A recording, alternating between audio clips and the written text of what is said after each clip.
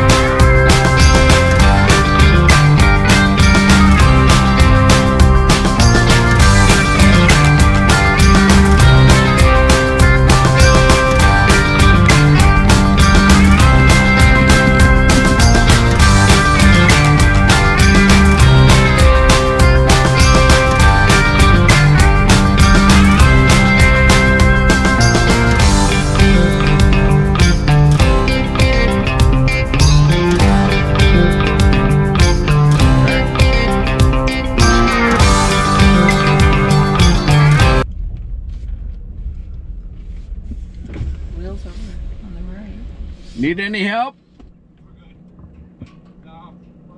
You need. I've got a tow rope. If you need to tip it up. We got tow straps and everything. I'm just go down and put it back on his wheels.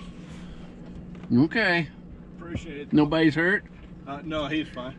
Uh, if you happen to see three guys in a razor, uh, orange kind of razors, you can send them back this way. Sure, Okay. I Uh, will. how far are you going up? We're gonna go go up and go down the uh, Champie Road. Uh, I'm, I'm guessing they're up by, you know where the Crown King turn off is? Yes. They're probably going to be waiting for us up there, but there's there's two orange ones and a green one. Okay. Tell them that we're just back there getting helping him. Okay. Well, if we see him, we'll give him.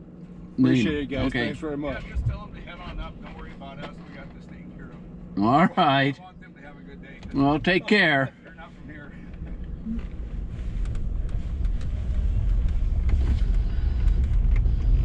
Must have had his seatbelt on. of them. Yes.